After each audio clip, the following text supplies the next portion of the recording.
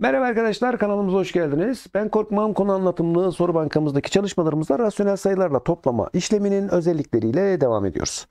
Daha önce yabancı olmadığınız bir konu, yine çok basit bir konu. Birazdan anlattığımızda siz de anlayacaksınız. Kanalımıza abone olarak bundan sonraki çalışmalarımızı takip edebilirsiniz diyelim ve bilgi kutumuzla başlayalım. Çocuklar rasyonel sayılarla toplama işlemi yapılırken toplanan sayıların yerleri değiştirilerek toplama yapılabilir. Sonuç aynı çıkar. Sonuç değişmez. Dolayısıyla toplama işleminde değişme özelliği vardır. Birinci özelliğimiz değişme özelliği. İkinci özelliğimiz ise birleşme özelliği. Burada birden çok toplama işlemi yapılırken bazı rasyonel sayılar gruplandırılarak onlara öncelik tanınabilir. Bakın burada örneğinde göstermiş. 3 tane rasyonel sayı toplanıyor.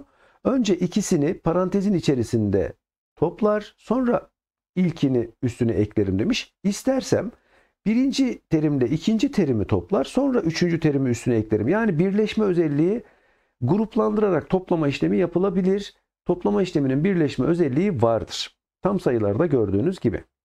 Yine aynı şekilde tam sayılarda olduğu gibi rasyonel sayılarda da toplama işleminin etkisiz elemanı sıfırdır. Herhangi bir rasyonel sayı sıfır ile toplandığında sonuç o rasyonel sayının kendisi çıkar. Diğer bir özelliğimiz ise bir rasyonel sayının zıt işaretlisine o rasyonel sayının toplama işlemine göre tersi denir. A bölü B rasyonel sayısının toplama işlemine göre tersi eksi A bölü B rasyonel sayısıdır. Yani tam sayılarda olduğu gibi zıt işaretlisi bir rasyonel sayının toplama işlemine göre tersidir diyoruz. Bunu şu şekilde de diyebiliriz. Bir sayı başka bir sayıyla toplandığında sonuç etkisiz eleman yani sıfır çıkıyorsa bu iki sayı birbirinin tersidir deriz. Evet birinci sorumuzda aşağıdaki işlemlerde sembolünün içine uygun rasyonel sayıları yazınız demiş. Çocuklar bu sorularda bakın e, özelliği toplama işleminin özelliğiyle ilgili sorularda verilmeyen varsa eşitliklerde şu şekilde düşünün. Bu bir terazi ise sol kefede ne varsa sağ kefede de o olmalıdır. Çünkü bu bir eşitlik. Sağ tarafta ne varsa sol tarafta da aynı terimler ya da aynı değerler olmalı ki bu eşitlik sağlanabilsin. Sol tarafta 4 bölü 3 ile eksi 1 bölü 2 toplanmış. Sağ tarafta bakın eksi 1 bölü 2 var ama 4 bölü 3 yok. Biz buraya 4 bölü 3 yazarsak bu eşitlik sağlanır diyoruz. Diğer bir işlemimiz eksi 1 bölü 4 ile 6 bölü 7 toplanmış. 6 bölü 7 burada zaten. Buraya da eksi 1 bölü 4 yazıyoruz bu eşitliğin sağlanabilmesi için. Üçüncü işlemimizde sol tarafta 1 bölü 9 var. Sağ tarafta da var. Bakın eşitliğin sağında da var. Sol tarafta 7 bölü 6 yok. Buraya 7 bölü 6 yazmalıyız ki bu eşitlik sağlanabilsin. Diyoruz ve diğer bir işlemimiz. Sağ tarafta 2 bölü 3 ile 1 bölü 7 var toplanmış. Sol tarafta ise 2 bölü 3 var. 1 bölü 7 yok. Buraya da 1 bölü 7 yazıyoruz. Evet bu özellik bu şekilde tamamlanıyor. İkinci sorumuzda yine aşağıdaki işlemlere sembolünün içine uygun rasyonel sayıları yazınız demiş ve birleşme özelliğini kullanmış. Direkt görebilirsiniz. Parantezin içerisinde gruplandırarak toplamış. Dolayısıyla hemen ne diyeceğiz? Bunu da terazi gibi düşüneceğiz. Sol tarafta ne varsa sağ tarafta da aynı değer olmalıdır. Bakın sol tarafta 1 bölü 2 4 bölü 3 2 bölü 5 var. Sağ tarafta ise 1 bölü 2 4 bölü 3 var. 2 bölü 5 yok. Buraya 2 bölü 5 yazarsak bu eşitlik sağlanmış olur. İkinci eşitliğimizde yine sol tarafta 6 bölü 7, 1 bölü 9, 1 bölü 18 toplanmış. Sağ tarafta da 1 bölü 9, 1 bölü 18 var. 6 bölü 7 yok. Buraya 6 bölü 7 yazıyoruz. Üçüncü işlemimizde eksi 6 bölü 12 ile bakın parantezin içerisinde 1 bölü 8 ile 7 bölü 9 toplanmış. Burada 7 bölü 9 var. Eksi 6 bölü 12 de var. Sol tarafta olanlardan. Ne yok? 1 bölü 8 yok. Buraya 1 bölü 8 yazıyoruz. Diğer bir işlemimizde sol tarafta ne varsa sağ tarafta da olmalı. Bu eşitliğin sağlanabilmesi için 1 bölü 2'ye 1 bölü 2 var. 1 bölü 3 ile 1 bölü 3'ler var. Eksi 4 bölü 3 sol tarafta var. Sağ tarafta da biz yazacağız. Eksi 4 bölü 3 şeklinde şuraya şunu silelim. Eksisini yazalım. Eksi 4 bölü 3 olacak. Evet devam edelim.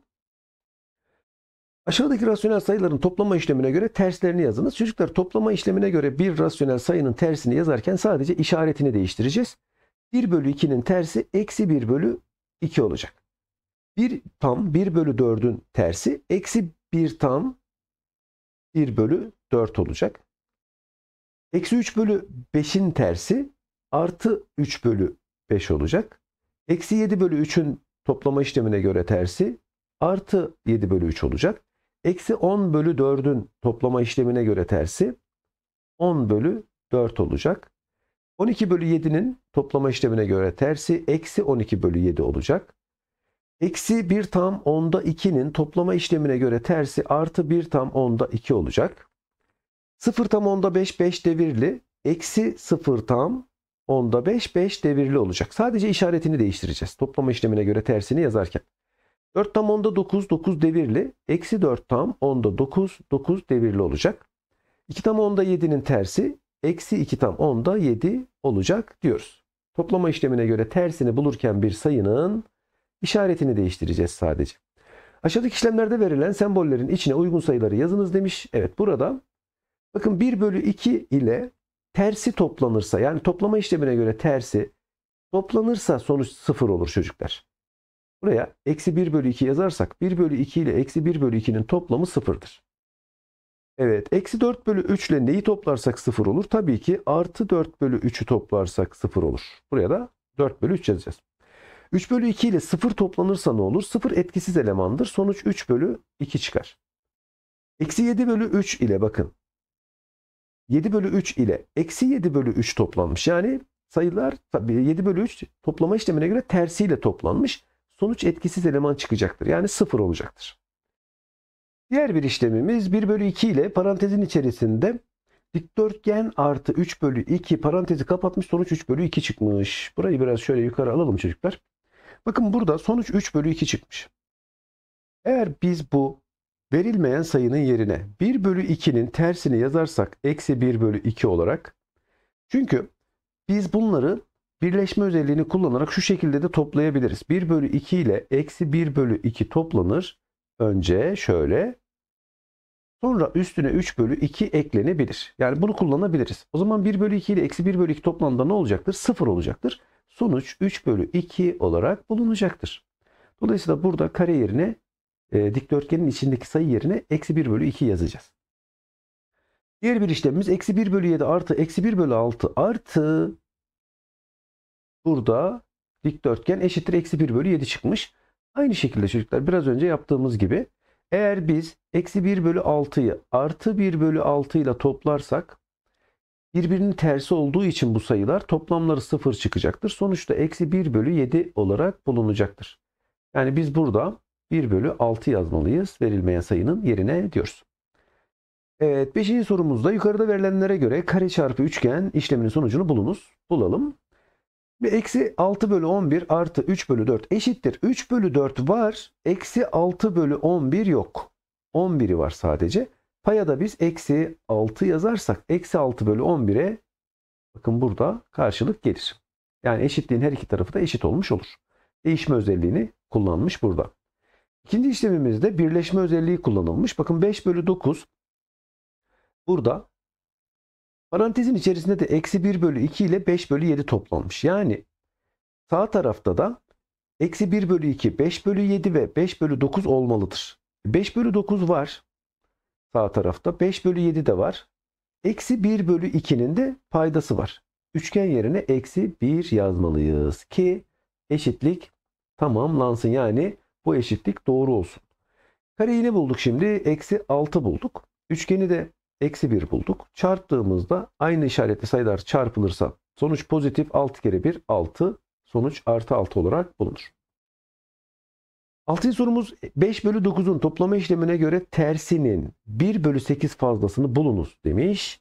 5 bölü 9'un toplama işlemine göre tersi eksi 5 bölü 9'dur. Bunun 1 bölü 8 fazlasını bulmak için 1 bölü 8 ile toplamamız gerekir. Eşittir diyoruz. Paydaları eşitleyelim hemen. Burayı 8 ile burayı da 9 ile genişleteceğiz. Eksi 8 kere 5 40 bölü 72 artı 9 bölü 72. Paydalar eşitlendikten sonra paylar toplanır paya. Bakın eksi 40 ile 9'u toplarız. 40'tan 9'u çıkar 31. 40'ın işaretini yaz. Çünkü mutlak değeri büyük olan 40, eksi 40. Sonuç eksi çıkacak. Paydamız da 72 olacak. Eksi 31 bölü 72 olarak bulunacak. Yedinci sorumuzda yukarıda verilen işlemlere göre üçgen yerine yazılması gereken sayıyı bulunuz demiş. Çocuklar ilk işlemimizde bakın sonuç 0 çıkmış.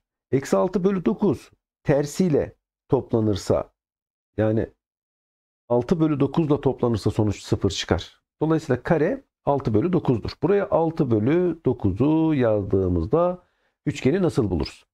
6 bölü 9 ile 1 bölü 6'yı toplayalım. Paydalarını eşitleyelim. Bunu 4 ile genişletir. Bunu da 6 ile genişletirsek 36'da eşitleriz. 4 kere 6 24 bölü 36 artı 6 bölü 36 eşittir. Paydalar eşitlendikten sonra paylar toplanır paya yazılır. 24 ile 6'yı topla 30 payımız 30 paydamız da ortak payda 36'dır.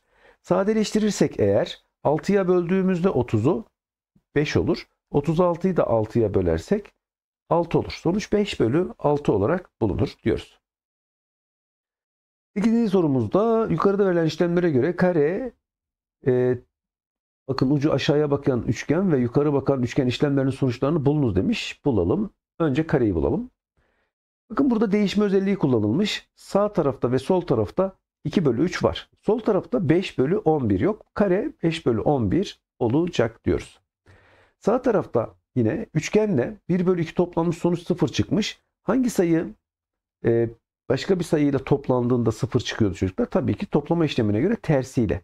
Yani eksi 1 bölü 2 ile toplanırsa sonuç 0 çıkar. Üçgende eksi 1 bölü 2 çıktı. Peki burada ne olacak? Burada da 0 çıkacak. Bakın 4 bölü 9 ile bu sembol toplanmış. Sonuç 4 bölü 9 çıkmış yine. Buraya 0 yazacağız. Şimdi toplama işlemini yapalım. 5 bölü 11 karemiz artı üçgende eksi 1 bölü 2 diğer üçgenimiz de 0. Bunları topladığımızda ne olacak? Bu arada ne yaptık? Fark etmez gerçi ama sıralamayı yanlış yaptık. Artı bakın burası 0. 0 artı eksi 1 bölü 2 olacak. Paydaları eşitleyelim. Bunu 2 ile genişleteceğiz. Bunu da 11 ile genişleteceğiz. 10 bölü 22 artı zaten 0 etkisiz elemandır. Eksi 11 bölü 22 olacak. Paydalar eşitlendikten sonra 10 ile eksi 11'i topla. Eksi 1 olur. Paydamız da ortak olan 22'dir. Eksi 1 bölü 22 olarak sonuç bulunur diyoruz. Evet, rasyonel sayılarla çıkarma işlemine gelmişiz. İlerleyen günlerde veya saatlerde kanalımızda yayınlarız. Abone olarak takip edebilirsiniz. Arkadaşlarınıza tavsiye edebilirsiniz. Kendinize iyi bakın. Hoşçakalın.